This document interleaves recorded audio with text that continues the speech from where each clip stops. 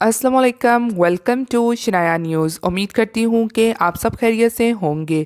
आज यूके की और यूरोप की तीन अहम अपडेट लेके आप लोगों की खिदमत में हाजिर हुए हैं। इंग्लैंड मुसाफरों के लिए अहम ऐलान। मुस्बत नतज पर अजाफी फ़ीस अहम खबर। ऑस्ट्रिया हजाम की दुकानों पर छापे और जुर्माने अहम खबर। और इसी के साथ एक और अहम खबर को आप लोगों के साथ शेयर करेंगे। यूरोपीय यूनियन में रिकॉर्ड अमौत अहम खबर जारी। तमाम खबरों की तफसीत जानने के लिए आप सबसे रिक्वेस्ट है कि वीडियो को आखिर तक देखिएगा और वीडियो को आगे अपने दोस्तों के साथ भी शेयर कीजिए ताकि वो भी इन खबरों से आगाह हो सकें। और अगर वीडियो पसंद आती है तो लाइक लाजमी कीजिएगा। तो चलिए शुरू करते हैं आज की अपडेट का सिलसिला।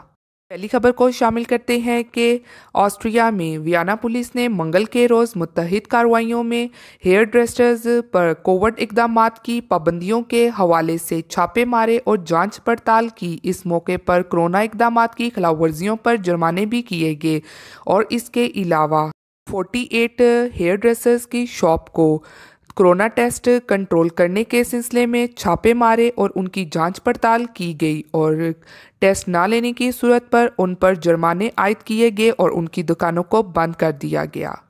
बढ़ते हैं अगली खबर की जानब। रेड लिस्ट ममालिक से बरतानिया आने वाले मुसाफरों को कोरोना टेस्ट मुस्बत आने पर इजाफी फ़ीस अदा करना होगी। रेड लिस्ट ममालिक से बरतानिया पहुंचकर क्वारंटाइन करने वाले मुसाफरों का होटल में पॉजिटिव टेस्ट आने के बाद इन्हें मजीद 1200 पाउंड इजाफी फ़ीस अदा करना होगी। हकूमत की तरफ़ से कहा गया है कि क्वारंटाइन होटलों में भेजे जाने वाले मुसाफरों को कोरोना वायरस की मुस्बत जाँच पर इजाफी बिल अदा करना पड़ेगा। इससे कबल क्वारंटाइन के 10 योम के लिए सतारह पाउंड फ़ीस मुकर की गई है। ग्यारहवें रोज़ मेहमानों को नेगेटिव टेस्ट आने पर फारिग किया जाएगा। 152 पाउंड्स रोज़ाना लागत के हवाले से तफसीलात वेबसाइट पर भी मुहैया की गई हैं। अब बढ़ते हैं अगली खबर की जानब। यूरोपीय यूनियन के अदादोशुमार के मुताबिक पता चला है कि सन 2016 था 19 के मुकाबले में सन 2020 में यूरोपीय यूनियन के ममालिक में कई ज़्यादा अमौत वाक़ हुई हैं। नवंबर में होने वाली हलाकतें बहुत ज़्यादा थी, क्योंकि तब मशरकी यूरोपीय ममालिक कोरोना से बहुत ज़्यादा मुतासर हुए थे। यूरोपीय यूनियन के रुकन ममालिक में सन 2020 में मार्च और नवंबर के दरमियान तकरीबन साढ़े चार लाख अफराद का इंतकाल हुआ, जो गुजशत बरसों के इसी दौरानिया में हलाकतों की तादाद से कई ज़्यादा बनती हैं। के अलावा अदादोशुमार में ये भी बताया गया है कि कोरोना की पहली लहर के अरूज पर पहुँचने की वजह से अप्रैल में ज़्यादा अमौत वाक़ हुई।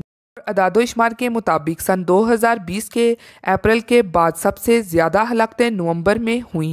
के अलावा अदादोशुमार के मुताबिक इल्म ये भी हुआ है कि इस दौरान ऑस्ट्रिया और इटली में भी 50 फ़ीसद ज़्यादा अमौत हुई और इन तमाम हलाकतों की वजह कोरोना ये थी आज की अहम तरीन अपडेट यूके की और यूरोप की। आप लोगों के साथ शेयर की गई है। उम्मीद करती हूँ कि आपके इल में इजाफा हुआ होगा। इसी के साथ बढ़ मिलती हूँ फिर मैं आप सबसे किसी लेटेस्ट अपडेट में। तब तक आप सब अपना बहुत ख्याल रखिएगा। थैंक यू खुदा हाफिज़।